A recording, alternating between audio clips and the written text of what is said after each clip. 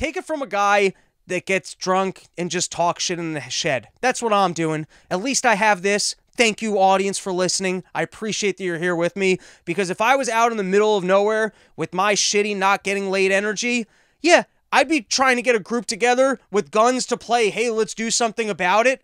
And then what happens is, you know, you get together every week and like you just pretend like you're going to do something. And then some FBI dude who's way cooler than you, you know, he's actually maybe done training or whatever the fuck he did with his life. He's way smarter. He got into the FBI. He's probably got a good body. And then he just starts showing up to the meetings. And he's like, hey, why don't we just go hijack the mayor? Why don't we go out there and let's uh let's let's kill the governor? And everyone's at the meeting and they're looking over at this guy and they're like, yeah, yeah, yeah, what he said because they don't want they're there to pretend like they give a shit, like they're gonna do something. And you got this one loudmouth who's going, why don't we actually do something? I say we take over a city block, and everyone's like, fuck yeah. And then they get home and they call it, they're like, dude, we're not doing that, right? Like, dude, we got to do something about the new guy. The new guy's taking it a little bit too far, and I don't know that that's actually what happened. But I do remember, and uh, this is unresearched, so you can go look this up.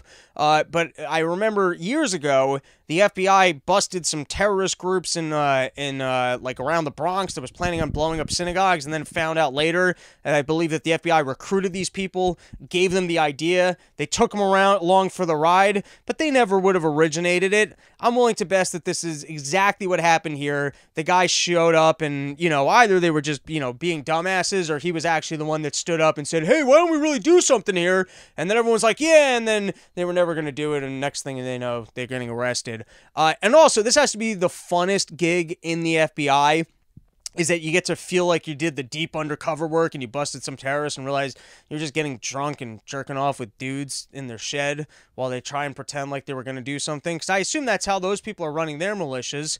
Don't get weird, Sid.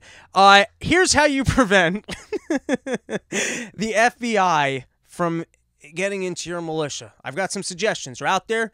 You know, you're trying to you're trying to do what I do here, hoot and holler.